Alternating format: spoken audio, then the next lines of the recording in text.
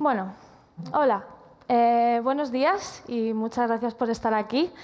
Eh, bueno, mi proyecto es el Festival de Circo Contemporáneo de Madrid.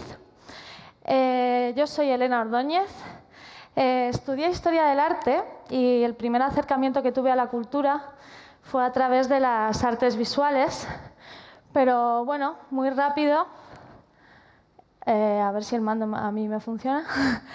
el circo y el teatro pasaron por mi pueblo y yo descubrí que quería ser de mayor. Y la verdad es que nunca quise ser actriz, lo que siempre me gustó fue la producción, es más, tengo bastante pánico escénico. Y bueno, entiendo la producción como una actividad creativa también, como una actividad que está implicada en todo el proceso de creación, desde el principio hasta el final, a nivel comunicación, distribución, exhibición.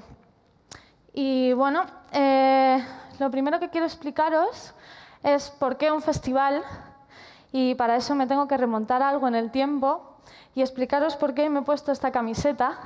Y es porque, no sé si os pasa, pero yo tengo cierta ropa que me recuerda a los momentos que viví.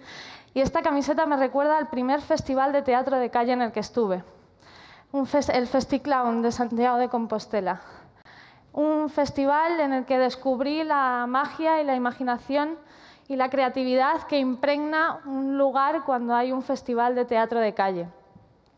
Bueno, desde entonces he participado en todos los festivales que he podido y he ido a ver todos los que he tenido tiempo.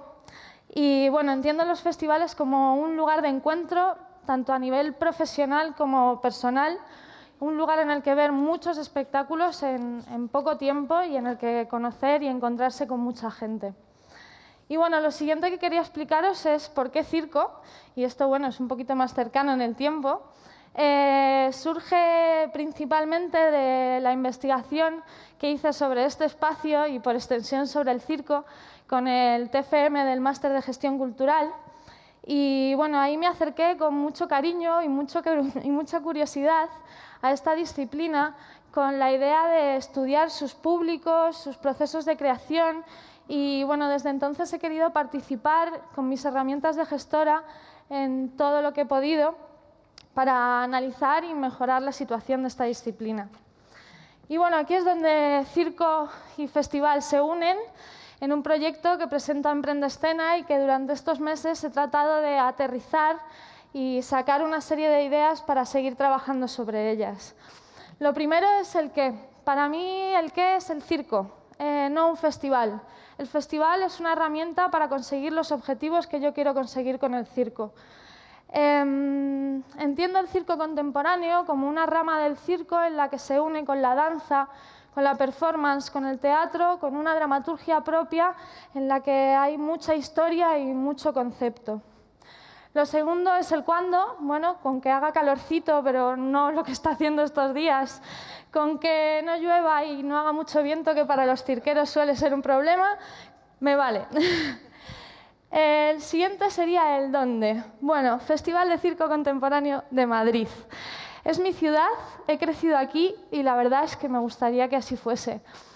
Hay ciertas voces profesionales del sector a las que respeto que me han planteado las dificultades de hacerlo aquí, pero bueno, por una serie de objetivos que os iré contando, me parece también interesante por lo menos intentarlo. y luego hay otro dónde, que es en calle o en sala. Creo que el circo tiene que salir a la calle para llegar a un público generalista, pero creo también que el circo tiene que entrar en salas en las que normalmente no entra, pero que tienen las posibilidades técnicas para hacerlo, para llegar a un público más especializado. Quiero que los teatreros vengan al circo. Eh, lo siguiente sería el por qué. Bueno, eh, para mí el circo transmite unos valores muy importantes. Transmite trabajo en equipo, solidaridad, escucha. Eh, luego es un lenguaje sin palabras, es un lenguaje universal a través de la emoción y del movimiento. Y esto me parece muy importante. Y luego hay otro porqué que se basa más en lo personal y en mi experiencia, y es porque cualquiera que vaya a ver un espectáculo de circo contemporáneo de calidad sale entusiasmado. Y eso me parece muy importante. Y luego hay un para qué. Y bueno, aquí hay una rama de la gestión cultural que me interesa muchísimo, me apasiona y es la gestión de públicos. Eh, creo que el circo contemporáneo eh, tiene algunos, bueno, algunos problemas a la hora de transmitir o comunicar su esencia. Eh, hay muchas ideas preconcebidas sobre el circo. El circo ha evolucionado mucho a lo largo de los últimos, de los últimos años y esas nuevas ideas o esa idea, esencia del circo tiene que llegar al público. Eh, y luego hay otro para qué a nivel sectorial. Eh, hoy estamos en este maravilloso reducto de felicidad para el circo, pero el circo no está presente en las subvenciones a nivel estatal, comunidad, ayuntamiento. No estuvo presente en los premios Max, como bien decía un post de Circo Red el otro día. no hay mucho apoyo a su formación y la mayoría de sus artistas sobreviven, emigran y se exilian. Por eso también me parece importante a nivel visibilidad que este festival se haga en Madrid. Y bueno, hay un cómo que es a través de las experiencias que he ido teniendo en los festivales y bueno, en las experiencias como productora que he ido teniendo.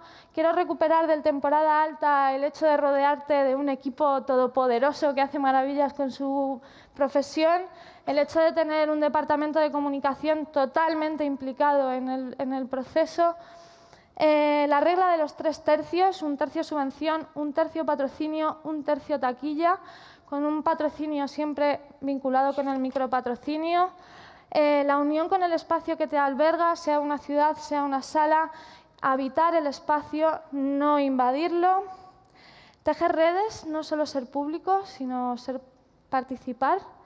Y bueno, eh, estas son mis ideas, estoy empezando a trabajarlas y me gustaría que cualquiera que tenga algo que decirme, apoyarme, discrepar, cualquier cosa, soy Elena y soy la de la camiseta de Payasos en Rebeldía. Muchas gracias.